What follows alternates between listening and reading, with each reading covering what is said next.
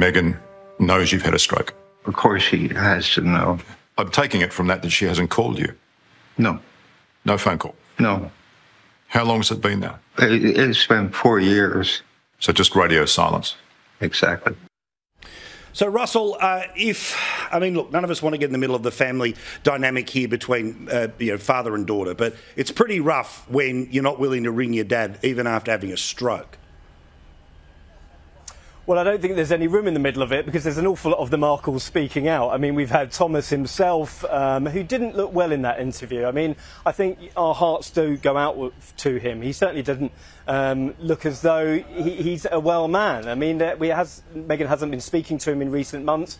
You've, of course, got Samantha and Thomas Jr. speaking out as well. And I think, had Meghan come here, it would not only been a huge, huge distraction for the main event because how would have the family have dealt with her? How would have the media have dealt with her?